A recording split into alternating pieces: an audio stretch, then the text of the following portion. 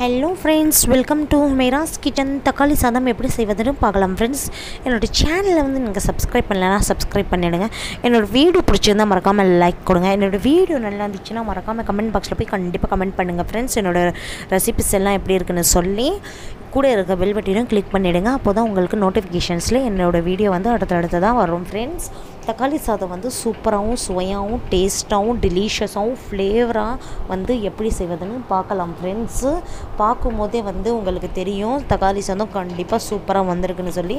நான் வந்து basmati rice use பண்ணியிருக்கிறேன். நீங்கள் வந்து சாதா ரைஸ்லேயும் சரி வீட்டில் தானே செய்கிறீங்க சாதா ரைஸ்லேயும் கூட செஞ்சுக்கலாம். உங்கள் இஷ்டம்தான். வீட்டில் வந்து கண்டிப்பாக வந்து ட்ரை பண்ணி பாருங்கள் உங்களுக்குன்னு சொல்லி இல்லை ஃப்ரெண்ட்ஸ் நீங்கள் வந்து நான் சொல்கிற மாதிரி கரெக்டான பதத்தில் கரெக்டான வந்து நான் கன்சிஸ்டன்சிலையும் நீங்கள் வந்து எல்லா பொருளையும் யூஸ் பண்ணி கரெக்டாக செஞ்சீங்கன்னா நீங்கள் புரிஞ்சுக்கிட்டீங்கன்னா போதும். சூப்பராக சுவையான தக்காளி சாதம் ரெடி ஆகிடும் வாங்க ஃப்ரெண்ட்ஸ் தக்காளி சாதம் எப்படி செய்யலான்னு பார்க்கலாமோ. முதல்ல வந்து அடுப்பில் வந்து நான் ஒரு ஒரு கடாயை எடுத்து வச்சுருக்கிறேன். தேவையான அளவு எண்ணெயை ஊற்றிக்கிட்டேன் எண்ணெய் நல்லா சூடானதுக்கப்புறமா கடலைப்பருப்பை வந்து ஆட் பண்ணிக்கிட்டேன். கடலைப்பருப்பு நல்லா வந்து எண்ணெயில் வேகட்டும். அதுக்கப்புறம் அப்புறமா ஒரு ஸ்பூன் கடுகு ஆட் பண்ணிக்கிட்டேன். கடுகும் கடலைப்பருப்பும் நல் எண்ணெயில் வந்து நல்லா விதங்கட்டும். அதுக்கப்புறமா வந்து நான் வந்து சோம்பை வந்து ஆட் பண்ணிக்கிட்டேன். சோம்பு போட்டிங்கன்னா ரொம்ப வாசனையாக இருக்கும். ஒரு ஸ்பூன் வந்து ஜீரகம் ஆட் பண்ணிக்கிட்டேன். ஒரு ஒரு ஸ்பூன் சோம்பும் ஒரு ஸ்பூன் வந்து ஜீரகமும் கொஞ்சமாக கருவேப்பிலையும் சேர்த்து ஆட் பண்ணிக்கிட்டேன். கருவேப்பிலையும் நல்லா சுரங்கணும்.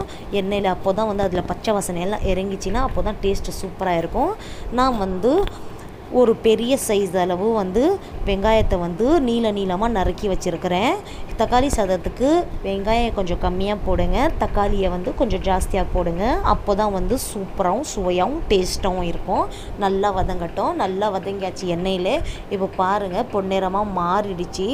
இந்த ஸ்டேஜில் வந்து நாம் வந்து நான் வந்து ஒரு ஒரு பெரிய சைஸ் வந்து வெங்காயம் எடுத்துருக்கிறேன்னா நாலு வந்து பெரிய சைஸில் வந்து தக்காளியை எடுத்துருக்கிறேன். பெரிய பெரு நீள நீளமாக நறுக்கி வச்சு ஆட் பண்ணிக்கிட்டேன் நல்லா வதங்கட்டும் எண்ணெயில். இப்போ நீங்கள் வந்து ரெண்டு வெங்காயம் எடுத்தீங்கன்னா நாலு வந்து தக்காளியை எடுத்துக்கோங்க. இல்லைன்னா அஞ்சு தக்காளியை எடுத்துக்கோங்க. அப்போ தான் டேஸ்ட்டு சூப்பராக இருக்கும். நல்லா வதங்கட்டும். நல்லா வதங்கியாச்சு.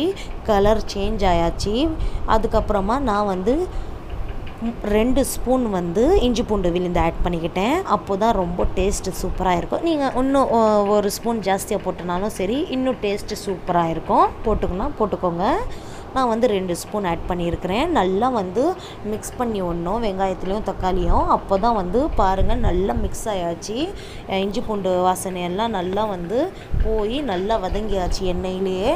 இந்த ஸ்டேஜில் வந்து நான் வந்து சின்ன சின்னதாக நறுக்கி வச்சுருக்கிறேன் வந்து மல்லி இலையை ஆட் பண்ணிக்கிறேன். மல்லி தக்காளி சாதத்துக்கு மல்லி இலை தான் வந்து ரொம்ப பெஸ்ட்டு சாப்பிடும்போது சூப்பராகவும் சுவையாகவும் டேஸ்ட்டாகவும் வாசனையாக இருக்கும். நீங்கள் எவ்வளோ மல்லி இலை போடுறீங்களோ அவ்வளோ வாசனையும் அவ்வளோ ஃப்ளேவரை தரும்.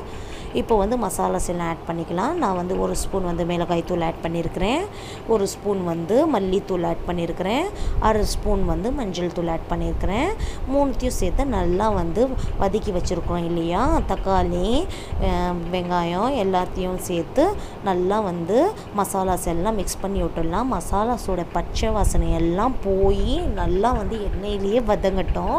இப்போது நல்லா வதங்கியாச்சு. பாருங்கள் எண்ணெயெல்லாம் மேலே மெதினிட்டு வருது.